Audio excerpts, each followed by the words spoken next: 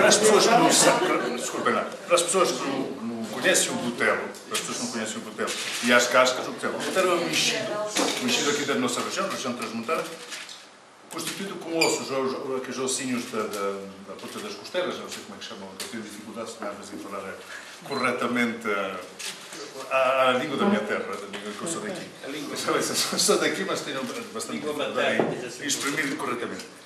Então este enchido é cozido bem, e é acompanhado com estas cascas, são vagens do feijão, que os nossos avós, os nossos antepassados, conservavam durante o ano inteiro, é? secavam e guardávamos e depois durante o ano comíamos e comemos.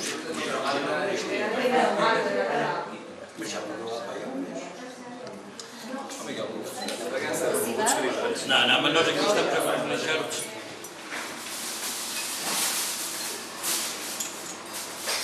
Muito trabalho, não Olha, as carnes são carnes porco cozidas. Bem. Um bocadinho mais. A Xana, anda cá. Pega ali. Vem para aqui, meu filho. Tiene orelha, orelha de cerdo, orelha, pé, pé de cerdo, um bocadinho de carne de cerdo e de terneira. Uhum. É para dar sabor. Depois o enchido, embutido e embutido também de churros. Quantas travessas tens? Oito, não é? Oito. Tu, tu, tu travessas dá para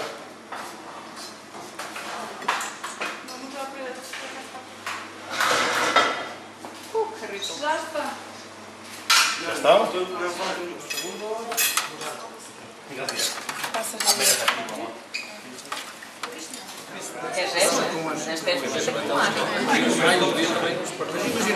da Comunicação social, permitam-me cumprimento primeiro os nossos amigos de Zamora. Muito obrigado pela vossa presença.